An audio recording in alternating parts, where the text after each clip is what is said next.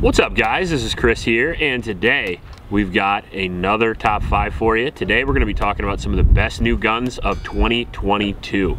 I had to wait a little bit. I had to get a couple of these guns, try them out, and all the guns that we have on the list, I actually have in front of me right now and have rounds down through them. That way I can vet and tell you actually how good they are. That being said, we have a lot of honorable mentions on the list as well. Guns I've seen, guns I've held but haven't shot, and could possibly be some of the best guns of 2022, or best new guns I should say. So we're gonna have quite a few honorable mentions at the end as well. That way I can give you guys kind of a list of what's coming down in the future, and maybe what I'm interested in and going to be reviewing here on the channel this year. In order to be on this list, you have to have came out in 2022 and also have to be pretty damn good because there's been a lot of guns already that came out in 2022. That being said, there's going to be a good mix of different types of weapons on the table. So hopefully there'll be something for everyone and every price tier as well. Now between wind breaks, I wanna mention my Patreon supporters. Thank you guys very much. It's because of you videos like this are possible. Almost every gun purchased here was purchased via the Patreon dollars. So if you wanna support the channel, that is the absolute best way to do it. There's a link in the description if you wanna sign up, I'd appreciate it. There's also a link in the description for a local shelter, the YSS in Ames, Iowa. It is a youth shelter and it's an awesome thing to do to go down and donate to those kids. There's a link in the description that brings you right to the donate page, and I'd really appreciate if you guys would go down and give them a couple bucks. They could really use your help. Starting that off, I want to go into one of my favorite guns of the year by far, and this is going to be the Girsan MCP35. It is a you guessed it, Browning high power clone. Uh, unlike the Springfield though that comes in for thousands of dollars and doesn't work very well, the Girsan comes in at an astonishing $400. And so far we have about 300 rounds for this bad boy, uh, some remanufactured, mostly cheap ammunition, and it's been able to run it all with no issue whatsoever. Uh, it is styled after the classic Browning high power, not like the new FN high power, which is gonna have some upgrades that's coming out this year that'll actually be on the honorable mentions. Uh, but this guy's already out in available available for you to purchase in most gun stores, which is very nice. It has some interesting sights on it, but other than that, everything else is pretty Browning high power, down to the pretty excellent trigger, I'd have to say. Uh, it's a single action design with a pretty quick reset so you're able to shoot it really quickly even though it's a little older design. Uh, slide serrations on it, got the classic Browning high power cuts, very lightweight gun as well. It's got about a four and a half inch barrel on it. It's got enhanced controls by comparison to the standard Browning because it has an external extractor and it also has an ambi safety for those lefties in your life including my wife. So it's actually kind of a nice feature. Magazine release works well. Uh, magazines still don't drop free without removing the magazine disconnect, just like a standard Browning, but it does come with one 15 round magazine and these magazines are made by Mec-Gar, which makes sure they're pretty quality and they're actually pretty cheap as well. So that's pretty nice. Overall, if you're interested in getting into the classics, but you don't want to pay a ton of money and you want a gun that can kind of flex into concealed carry and home defense while still having some pretty classic looks, I think the Girsan is a good entry-level gun for that. And I think it's one of the better guns you can buy, actually, uh, that's a steel frame or a metal frame gun for under $400. Sorry about the wind here. We didn't have any wind when we started this, but it's Iowa, so what the hell are you gonna do? Hopefully the dead cat on the mic is helping out, but if it's not, you can yell at me in the comment section. Now we'll get into number four here, and we'll pick up the price a great deal. We are gonna be talking about the Geissele Super Duty. Now the Geissele Super Duty, at first glance, looks like just another AR. Yeah, because it is. But it also is a very high quality AR that performs much better than almost every AR I've ever shot.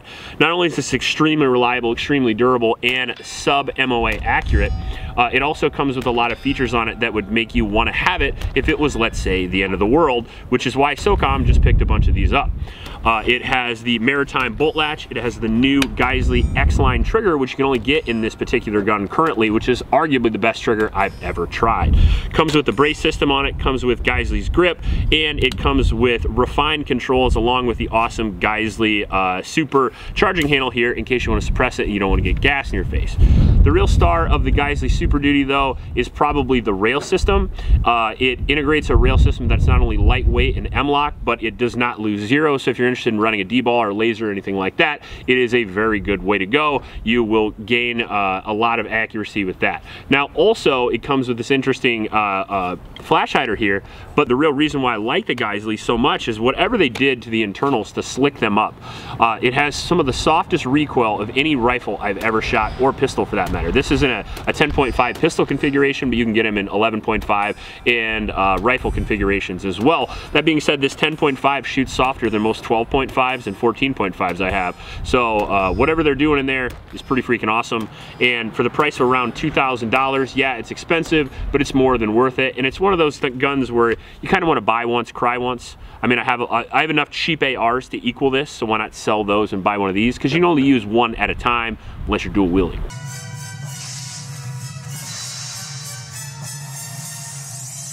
In at number three, we have the best handgun I've shot this year. This is the Wilson SFX 9. This is actually the 4 inch and uh, it does come from Wilson Combat so it is not cheap but it is phenomenal. Now this is their solid frame 2011. Comes 3.5 inch, 4 inch, and 5 inch I believe along with some X-Grip models and stuff like that. You gotta understand Wilson Combat is a custom shop so when you buy this you can put whatever features and accessories that you want on the thing. Mine has the X pattern with the co-witness sights with the RMR. All red dot mounts and everything are included so feel free to add those if you want to get them. The solid frame frame has the X-TAC pattern on it, which feels very good. Awesome, awesome three pound trigger on it that has a comfortable pad that's flat face, but you can change that if you want to. Combat hammer, either ambi safety or not. And then it has the fluted barrel here with the big old bull barrel with the recessed cut, which looks absolutely fantastic.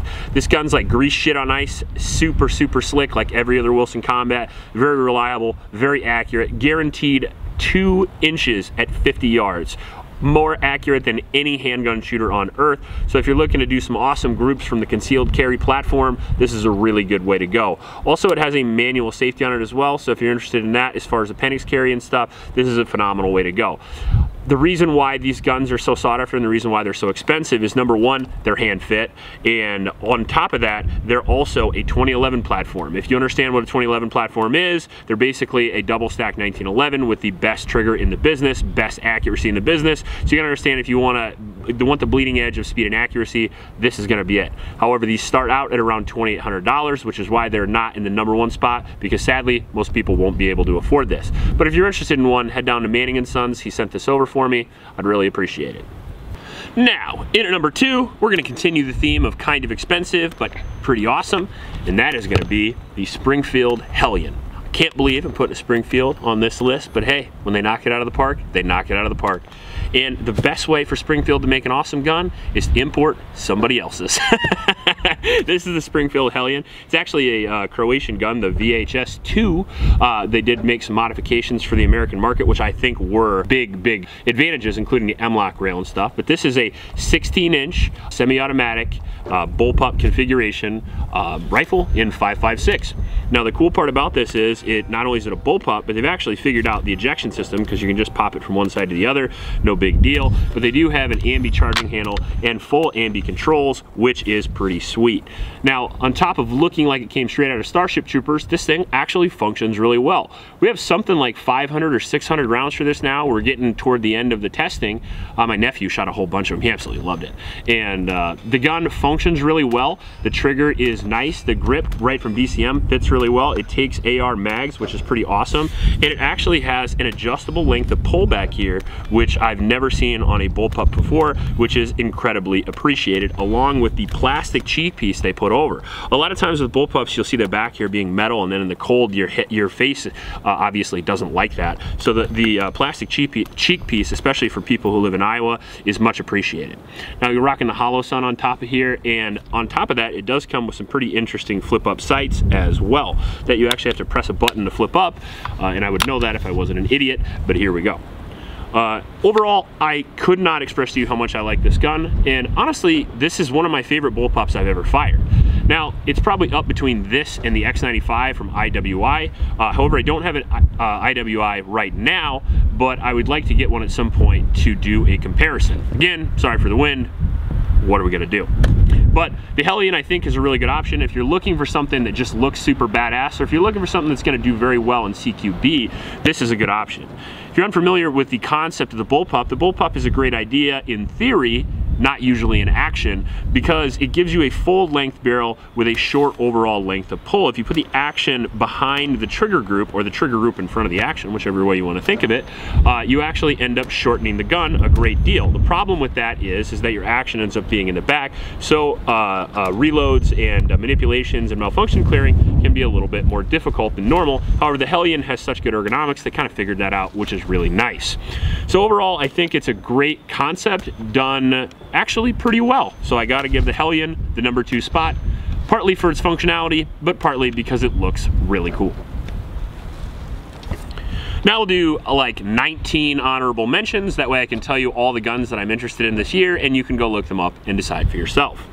The number six spot on the list is gonna be the JP5 from JP. I'm gonna be getting that pretty soon. It is going to be the roller delayed AR-15 and 9mm that they're gonna have out. Very excited about that, along with the other PCC that I've been waiting for for a long time, the MDP9 by Angstadt Arms. Another gun that I'm excited about is the new FN High Power that's gonna be coming out here shortly. However, it's not out yet. It's uh, an advanced high power with some new features on it, coming straight from FN, the company who put it out in the first place. Big ups to you, John Browning. You're the man. The Zastava M77 looks pretty good. The Hellcat Pro looks good. And finally, the SIG uh, 380 looks pretty awesome too. The P380, uh, the P365 in 380, I should say. We'll be having one of those on the channel in a couple of weeks. Wow, it's fucking hurricane winds now. What is happening, Yeah, Iowa? it's like, ruin your video. but anyway, now we're gonna get to number one before we blow the shit away. So, number one is the Canik Dark Side, or the Canik Rival, I should say. I prefer the Dark Side because the other one has gold on it and it looks a little cheesy. The Dark Side, however, to me looks really, really awesome, and it is the Canik I have been asking for for a long time. Canik has been making generational changes on the TP9 series for as long as I can remember, and this, to me, is the pinnacle of that innovation. Comes with awesome slide serrations right out of the box, a full 5-inch barrel, fiber optic front and blacked out rear, with an included red dot and red dot mounting system that keeps the rear sight. You have a pre-cocked uh, P99 style striker fired trigger, which is absolutely fantastic. You can see here the pull is extremely short, the reset is extremely short, and that is one of the best triggers you're gonna be able to get in a polymer gun. Awesome undercut, Picatinny rail for lights, lasers, home defense, all that wonderful stuff. Hang your coffee maker up there, whatever you want to do with it. It has an extended magazine release, back straps, great checkering, and it comes with three 18 round magazines. All that for around five to six hundred dollars, making it one of the best buys in the, not only the competition world, but in the home defense or concealed carry world as well. If you guys are familiar with uh, carrying larger guns, like if you like carrying a Glock 34 or something like that, this is right up your alley because it's also extremely lightweight at around 26 to 28 ounces, depending on how you kit it out. So not only can it do absolutely everything, but it does everything pretty well, and on top of that, it's really damn cheap, which makes it hard to beat, and that's why it's number one on the best new guns of 2022. A lot of guns coming out though. A lot of people are gonna have different lists. If you wanna put your list down in the comment section, I sure would appreciate it. I don't know every single gun, but I sure would like to. So if you have your list, make sure to put it down in the comment section and I'll go over it and see if it's awesome. If you like this video, please like and subscribe. Please help out your local homeless shelters and remember to recycle. I'll check you later.